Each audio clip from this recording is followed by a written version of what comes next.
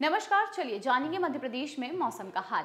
आसपास के इलाकों में बारिश होने और ओले गिरने से मौसम के तेवर अब नरम पड़ गए हैं। दिन का तापमान कम होने से गर्मी से भी राहत मिली है। मौसम वैज्ञानिकों का कहना है कि दो या फिर तीन दिन बाद फिर मौसम बदल सकता है। इसकी वजह यह है कि दो अलग अलग दिशाओं की हवाएँ आपस में मिल रही है। मौसम केंद्र भोपाल के रिपोर्टर के द्वारा ये बताया गया है कि इन संभागों में सोमवार सुबह या फिर देर शाम से मौसम बदलने की संभावना है और इसकी वजह यह है कि वेस्टर्न डिस्टर्बेंस कमज़ोर है, जिससे पूर्वी हवा स्ट्रांग होगी। ओडिशा तट के पास बना प्रति चक्रवात अगले दो दिन में और दो से तीन दिन में स्ट्रांग होगा और इसके कारण दक्षिण, पश्चिमी हवा और पूर्वी हवा रविवार शाम मध्य प्रदेश के पास, आसपास में टकराएगी। और इसी वजह से भोपाल सहित प्रदेश के छह संभागों में कहीं कहीं तेज बारिश होने और कहीं कहीं ओले गिरने और कहीं कहीं बहुत तेज हवा चलने की संभावना भी जताई गई है। भोपाल में बादल छाने के कारण मौसम के तेवर दूसरे दिन ही नरम हो गए।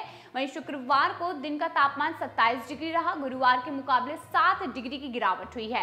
रात का तापमान 14.4 डिग्री दर्ज किया गया। बीते 24 घंटे में इसमें 2 डिग्री की कमी आई है।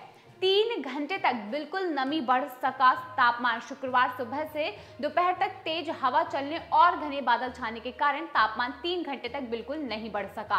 और सुबह साढ़े ग्यारह बजे पारा चौबीस दशमलव चार डिग्री सेल्सियस पर था और दोपहर ढाई बजे तक यह चौबीस दशमलव चार डिग्री सेल्सियस पर ही बना रहा। और उसके बाद हल्की धूप निकलने के कारण अगले एक घंटे में तापमान में दो दशमलव छह डिग्री की बढ़ोतरी की गई थी।